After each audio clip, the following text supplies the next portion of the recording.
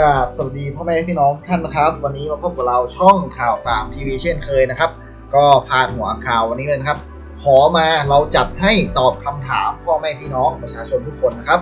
ก็มีคอมเมนต์หนึงได้มาเม้นไว้นะครับ บอกว่าทำคลิปตอบคำถามหน่อยค่ะ หนูเม้นเป็นร้อยแล้ว ตอบคนอื่นไม่ตอบหนูเลยนะครับ ก็หนู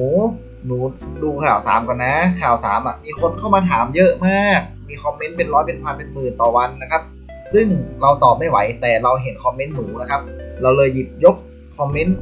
ทั้งชุดออกมาตอบให้เป็นช็อตๆเลยนะครับ คอมเมนต์ที่หยิบมาตอบนี้คือคอมเมนต์ที่ผมคัดออกมาแล้ว เป็นคำพูดที่ค่อนข้างจะดีระดับหนึ่งนะครับ ไอ้คอมเมนต์ที่พูดหยาบคายหรือว่าด่าหรือว่าอะไรเงี้ย มันก็ดีแต่มันก็หยาบคายไม่สมควรที่จะเอาขึ้นมาในคลิปวิดีโอนี้นะครับ ซึ่งผมก็ได้รับคำด่าคำชมเอาไปปรับปรุงตัวเองนะครับ ก็ไม่รอช้าเข้าเนื้อหาเลยดีกว่านะครับผม ไปคอมเมนต์แรกนะครับนะครับ ก็สำหรับใครที่อยากให้ผมตอบคำถามก็สามารถเม้นใต้คลิปวิดีโอนี้ได้เลยนะครับ ก็เราจะหยิบยกคอมเมนต์ใต้คลิปวิดีโออันนี้เอามาตอบเพิ่มอีกในคลิปวิดีโอหน้านะครับผม ก็คอมเมนต์แรกนี่ก็คือคอมเมนต์ที่ชักชวนให้ผมได้ทำคลิป ตอบคอมเมนต์ออกมานะครับ คอมเมนต์ที่ 2 นะครับ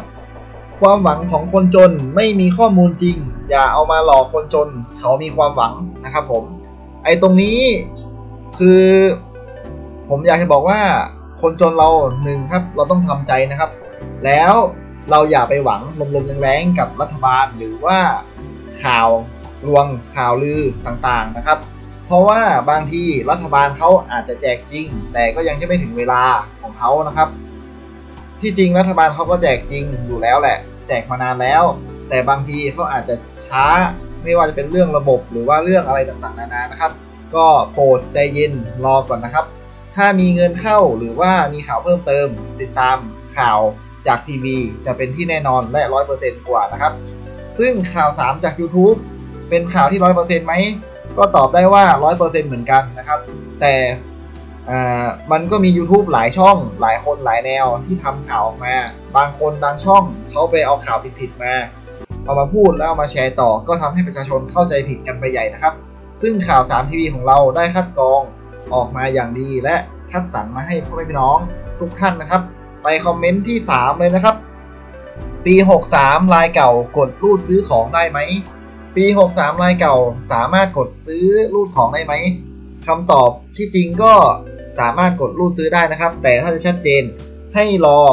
เขาประกาศจากรัฐบาลอีกทีนึงนะครับ เนื่องจากเขาบอกว่าบัตรคนจนคนเก่าอะไม่ต้องไปลงทะเบียน แต่ให้ไปยืนยันสิทธิ์ที่ธนาคารกรุงไทย ว่าเป็นคนจนจริงไหม ถ้าจนไม่จริงถูกคัดออก ถ้าเป็นคนจริงไปต่อได้ครับผมคำถามทีสี่4 นะครับ ไม่ได้ทำงานนะอะค่ะ เลี้ยงลูก อยู่บ้านเฉยๆ ไปลงได้ไหมคะ ก็ใช้คำพูดผมก็พยายามจะอ่านให้เข้าใจนะครับ ก็คือถ้าคุณเลี้ยงลูกอยู่บ้านเฉยๆ คุณไม่มีรายได้หรือว่าไม่มีเงินเดือนนะครับ คุณก็สามารถไปลงทะเบียนได้นะครับ ตอนนี้เขาพิจารณาอ่ารายได้ครอบครัวแล้ว ถ้าครอบครัวของคุณรายได้รวมกันแล้วไม่ถึง 1 0 0 0 0แบาทต่อปี คุณก็มีสิทธิ์ได้นะครับ แต่ผมแนะนำว่าถ้าไม่มีอาชีพไม่มีรายได้อะไร แนะนำว่าให้ไปลงทะเบียนไว้ก่อนนะครับ ผ่านไม่ผ่านค่อยว่ากันอีกทีนึงนะครับผมคอมเมนต์ที่ 5 นะครับ ไปกด 3 รอบแล้วค่ะ ตั้งแต่วันที่ 15 ถึง 18 แต่ยังไม่ได้เลยเงินสูงอายุและเงินคืนภาษีค่ะ ก็วันนี้วันที่19 แล้วนะครับ วันพรุ่งนี้วันที่ 20 ลองไปกดอีกทีนึง ถ้าวันพรุ่งนี้วันที่ 20 กดไม่เข้าก็ไปกดอีกทีหนึ่งเดือนมกราปีหน้านะครับผม เพราะว่ามีข่าวแว่วๆมา บอกว่าระบบเสียบ้าง ระบบล่มบ้าง ระบบขัดข้องบ้าง เพราะว่าเงินผู้สูงอายุอะเป็นเงินของอ่ามันเป็นเดือนสุดท้ายของปีแล้วที่เขาจะต้องจ่ายให้นะครับ แต่ปีนี้มันอาจจะล่าช้าหรือว่ามีปัญหาขัดข้องต่างๆนานานะครับ ซึ่งข่าววงในเขาบอกว่าวันที่ 20 เงินจะเข้า แต่วงในอีกคนหนึ่งเขาก็บอกว่า เขาจะเลื่อนไปจ่ายเดือนมกรานะครับผมแนะนำว่าให้ไปดูเดือนมกราส่วนเงินคืนภาษี เงินคืนภาษีตรงเนี้ยผมพูดเลย ไม่ได้แน่นอนสูงสุด 500 บาท ไม่ได้ทุกคน เพราะว่าเต็มที่คน5บาท 10 บาท ต่อให้มันเข้าเราก็ไม่สามารถที่จะไปกดมันได้นะครับ ก็ไม่ต้องกดให้มันฝากเข้ามาสะสมให้มันครบร้อยเนี่ยเจ็ดแปดเดือนอาจจะครบร้อยก็ได้แล้วค่อยกดออกมานะครับผม ไปคอมเมนต์ที่ 6 เลยนะครับผม ลงทะเบียนตั้งแต่ตุลาส่ง 62 จะได้เมื่อไหร่คะเงินเลี้ยงดูบุตร ส่วนเรื่องเงินเลี้ยงดูบุตร ผมแนะนำให้โทรสอบถามสายด่วนโดยตรงเลยนะครับ 1300 นะครับ เพราะว่าผมไม่ตรงนี้ผมไม่ชัวร์เพราะว่าผมไม่ค่อยได้ศึกษาเรื่องเงินเลี้ยงดูบุตร เดี๋ยวผมจะเก็บคำถามนี้เอาไปศึกษาแล้วก็พิจารณาและจะเอามาตอบใหม่อีกทีนะครับ แต่แนะนำให้โทร 1300 และไปติดต่อสอบถามอบตใกล้บ้านท่านนะครับ มาคำถามที่ 7 นะครับ แค่ไปยืนยันอย่างเดียวหรอคะต้องเตรียมอะไรบ้างนะครับ ก็คุณเป็นบัตรคนจนรายเก่าใช่ไหมครับ คุณก็เตรียมเอกสารพวกสำเนาไม่ใช่สำเนาดิบัตรประชาชน แล้วก็บัตรสวัสดิการแห่งรัฐของคุณนะครับ แล้วก็ ATM ธนาคารกรุงไทย ไปที่ธนาคารกรุงไทย แล้วก็ไปบอกเขาว่า มายืนยันตัวตน ว่าเป็นคนจน มาตรวจสอบสิทธิ์ว่าจะอยู่ต่อหรือว่าจะไป คุณก็บอกเขาไปนะครับ ซึ่งตรงนี้ก็ต้องรอเขาประกาศอีกทีนึงเขาบอกว่ามกราหกสามจะให้ไปยืนยันตัวตนที่กรุงไทยนะครับ ซึ่งก็อดใจรอสักนิดนึงอีก 10 กว่าวันก็จะปีใหม่แล้ว จะถึงมกราหกสามแล้วนะครับ ไม่นานเกินรอนะครับคำถามที่ 8 นะครับ อย่างผมขับรถสเล้งได้สิทธิ์ประโยชน์ไหม เป็นคำถามที่น่ารักมากนะครับ ก็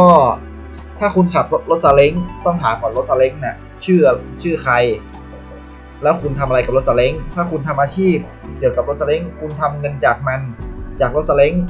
รายได้คุณเกิน 1 0 0 0 0แบาทต่อปี คุณก็อาจจะไม่มีสิทธิ์ได้นะครับ เพราะว่ารถซาเล้งเป็นรถทำมาหากินใช่ไหมแต่ถ้าคุณเป็นลูกจ้างเขาคุณมีเงินเดือนไม่เกิน 1 0 0 0 0แบาทต่อปี คุณก็มีสิทธิ์ได้นะครับ ส่วนไอเนี่ยกฎหมายกฎใหม่ของบัตรคนจนเนี่ยก็คือคนที่มีรถยนต์นะครับ จะโดนพิจารณานะครับ แล้วก็บัตรเครดิตก็จะโดนพิจารณาเช่นกันนะครับไปคำถามต่อไปเลยนะครับ ถามค่ะ ว่ามีเงินเข้าบัญชีทุกปี ปีละหน่วยสิบร้อยพันหมื่นสี่หมื่นบาทค่ะ แต่เป็นเงินกู้กองทุนค่ะ แต่จะหมุนเวียนแบบนี้ทุกปีค่ะ เพราะไม่มีจ่ายหนี้ค่ะ จะมีสิทธิ์ไหม อันนี้มีสิทธิ์ได้อยู่แล้วนะครับ เพราะว่ามันเป็นเงินเป็นหนี้นะครับผม แต่ต้องดูก่อนว่าเงินตรงเนี้ยเรากู้มาทำอะไร ถ้ากู้มาใช้หนี้ต่ออีกทีนึงเขาเราก็พิจารณาของธนาคารรู้สึกว่าของไม่กรุงไทยก็ทกสของเกษตรกรอะเกษตรกรนี่ของเกษตรก็คือทกสเนาะคือผมเห็นชาวนาชาวบ้านหลายคนที่กู้ตังค์แบบเนี้ยกู้ปีนี้มาโปะปีนี้ แล้วกู้ปีหน้ามาโปะปีนี้ ก็วนไปวนมาเงี้ยเขาก็ได้สิทธิ์กันนะครับ ก็ลองไปลงทะเบียนดูครับ คุณอาจจะมีสิทธิ์ได้สิทธิ์ประมาณ 80%นะครับที่จะผ่านเกณฑ์นะครับผม แล้วก็คำถามต่อไปนะครับ เงินผู้สูงอายุได้เดือนหน้าจาก อันนี้คือคำถามเหรอ ขออภัยนะครับพอดีทีมงานผมอาจจะเบอร์นิดนึงนะครับเขาอาจจะโอเค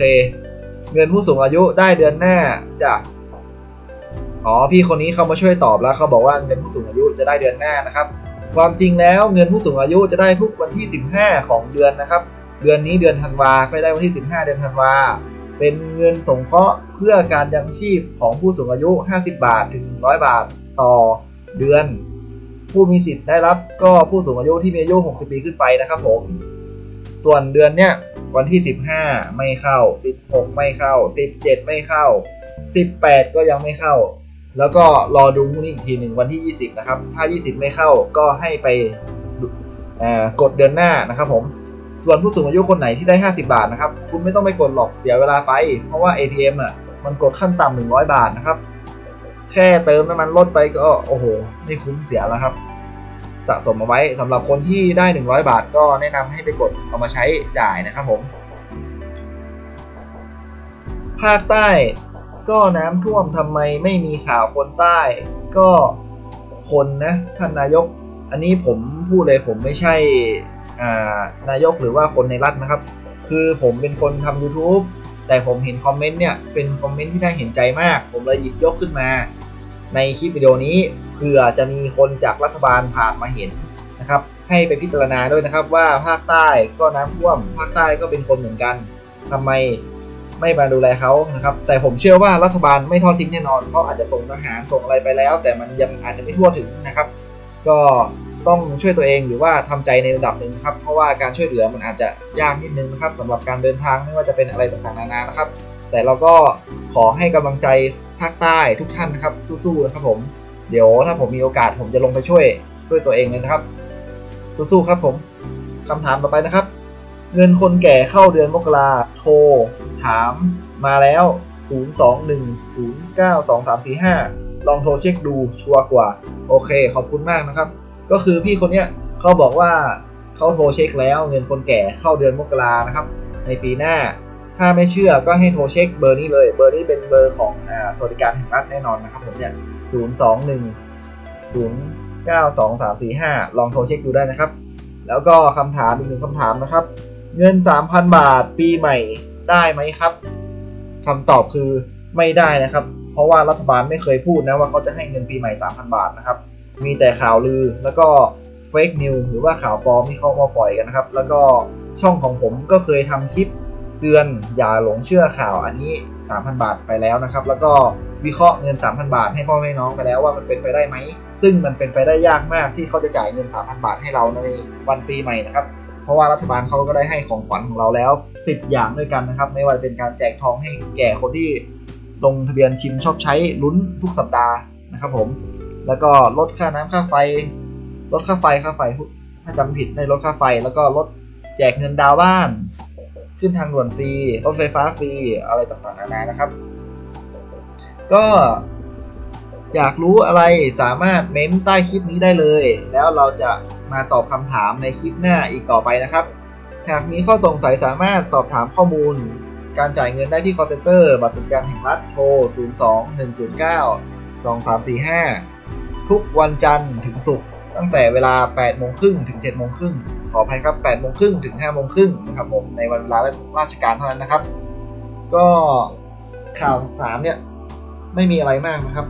สุดท้ายถ้าคลิปนี้เป็นประโยชน์นะครับ ก็ขอฝากพ่อแม่กดติดตามนะครับ เพื่อที่ท่านจะไม่ได้พลาดสิทธิโอกาสต่างๆ นานานะครับ ส่วนเงินต่างๆ ไม่ว่าจะเป็น 500 800 3,000 อย่าเพิ่งหลงเชื่อข่าวลือนะครับ ก็พยายามตั้งสติไว้ดีๆนะครับ เงินบางอย่างเนี่ยเราก็ไม่ใช่ว่าจะได้จริงนะครับ เราดูดูข่าวให้มีสตินะครับ อย่าเห็นหน้าพอปุ๊บแล้วรีบไปกดตังค์ปั๊บแบบนี้ไม่ได้นะครับ เพราะว่า มันอาจจะเป็นการที่เราดูข่าวไม่เต็มที่นะครับผมแนะนำว่าให้ใจเย็นๆก่อนนะครับสำหรับใครที่ฟังมาถึงตอนนี้แล้วก็ขอให้สุขภาพร่างกายแข็งแรงร่ำรวยมีเงินมีทองนะครับข่าว3ทีวีก็ขอตัวกราบลาไปก่อนนะครับ ถ้าคลิปนี้มีประโยชน์ก็กดไลค์กดแชร์ให้ข่าว3ทีวีด้วยนะครับเพื่อเป็นกำลังใจในการรับสิทธิ์ต่อไปสำหรับคำถามที่ถามใต้คลิปนี้จะเจอกันในคลิปหน้าอีกคลิปแน่นอนนะครับผม สวัสดีครับ